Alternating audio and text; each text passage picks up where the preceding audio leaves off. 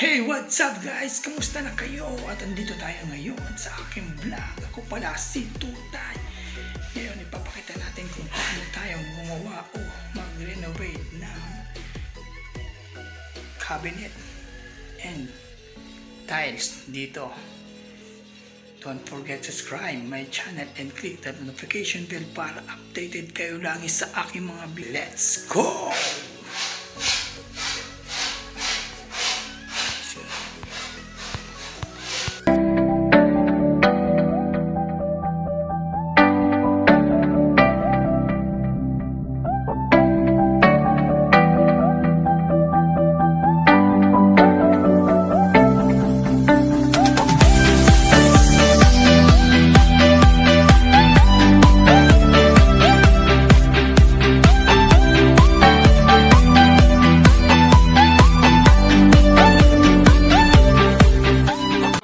Natin kung paano gumawa ng cabinet sa kusina.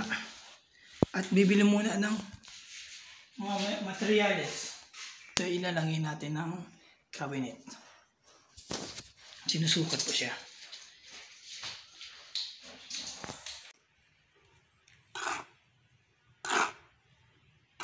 Ito guys, ang simento natin na ilalagay ito sa ilalim ng lababo.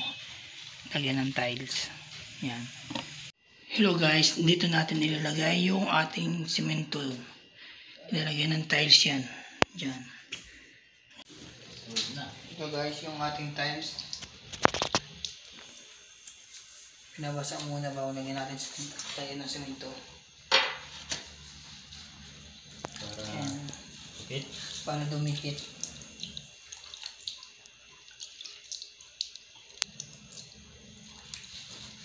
An anong size itong ano? Tiles? Ha? 40 ang size ang... Magkano ang price? Diba? 40 plus. 49 guys yung tiles to. Ang size ng ang, ang size ng tiles ay 40 40 by 40, 40 by centimeter. centimeter. Yan. Binabasa muna bago baka tumikit. Baka tumikit. May bukli pang pa tayo. oh. May buti. Ano buti yun? Hmm. May pang pa tayo. Yan. Naipit. Wait. Tatanga-tanga kasi. Yan, naipit. Doon nga sa kabila na ano eh. Naipit nila eh. Parang din- dinig-dinigan lang. Binabas-basan. Bago ano. Linisin muna. Yung mga bato-bato.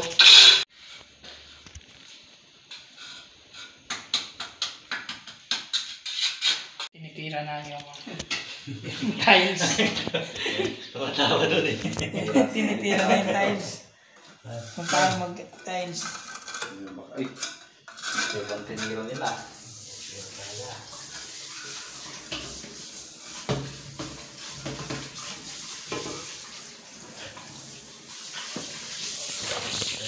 Sa baba ng lababo ito guys. So binabasa-basa ang ating. Ang masa-masa Masa-masa. habang isusukat na. Isasalpak na. Yan. Hello guys, ito na guys yung ating ano, dalawa na yung tinangin. Yung sobra dito, ibiyak, bibiyakin ito. Itong tiles para ikasya dito. Kasi hinahanap pa nila yung pampa, pam, yung cut. Yung pang-cut. Yan.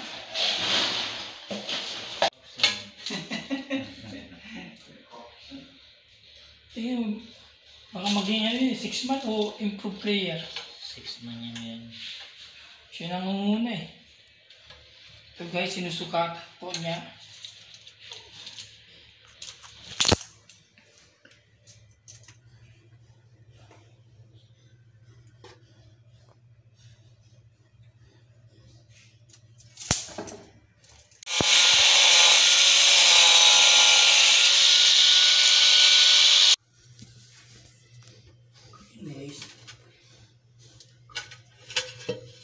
Ibawasan pa.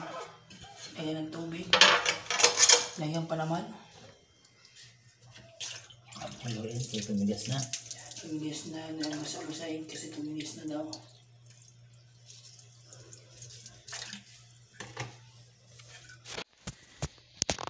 Ito. Kaya binawasan to para sumakto dito. Yan.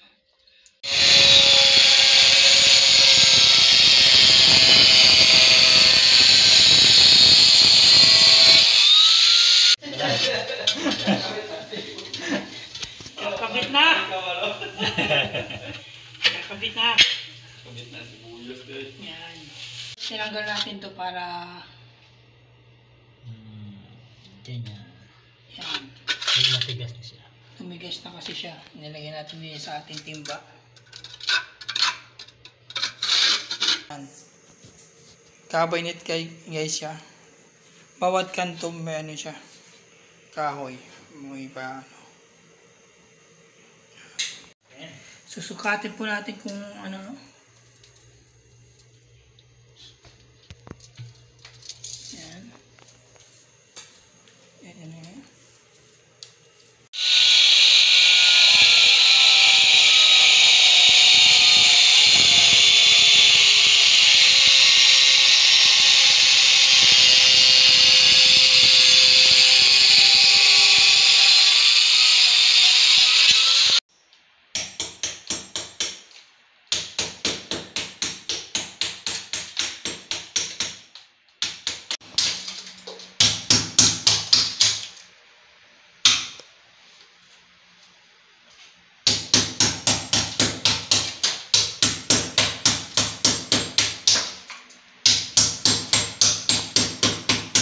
Bum- bumili ng ano?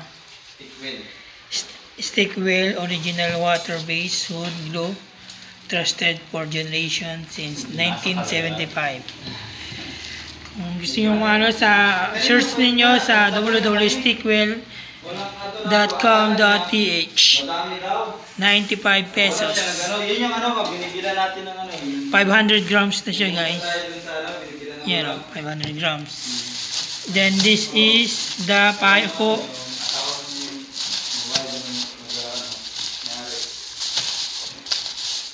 Ano ito? Dos? One and a half na pako. Tapos buti na lang. Yan guys. And then meron tayong food.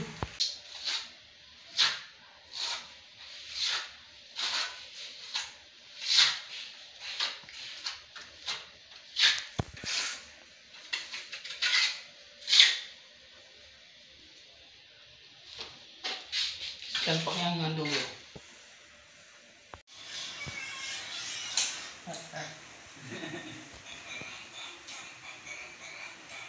Hello guys, dito yung ano yan, yan yung tie trim, nilagyan ng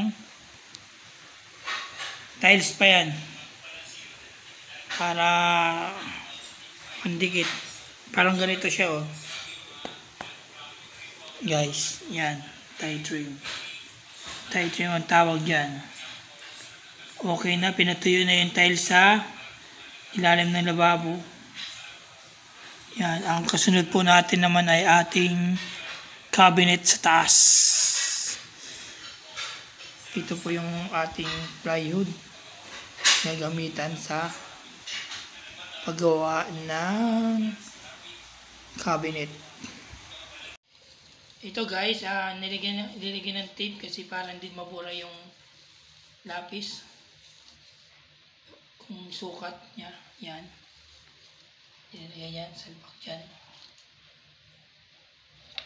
Para mapantay doon sa ilalagyan. Yan.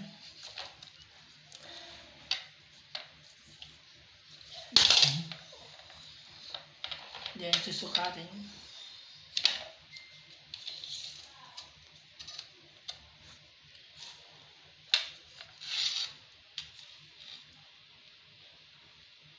yan. Then, eh, ano yun, pantayin. At doon po, kung saan guwit niyan, doon puputulin. Ikakat.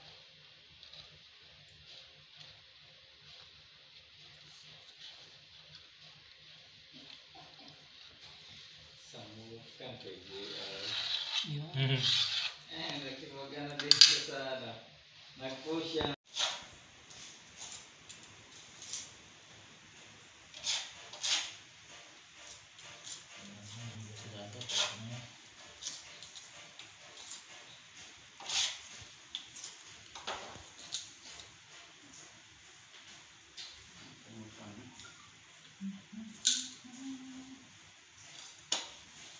Itong dito ya.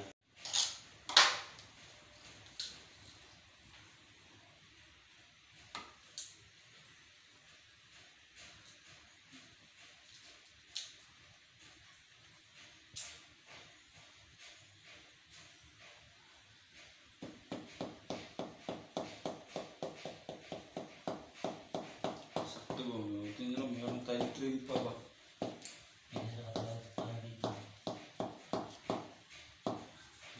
saktong puti. Kaya kung hindi, walang choice. Ito magagamit lahat. Dami na ang design. Puro ano na mga design. Pas halo-halo na. Bagay. Yan guys, yung tiles. Yan ganyan. Kasi pa yung bro, pero ko bro eh. Yung sa taas. Sa bag ko. Na.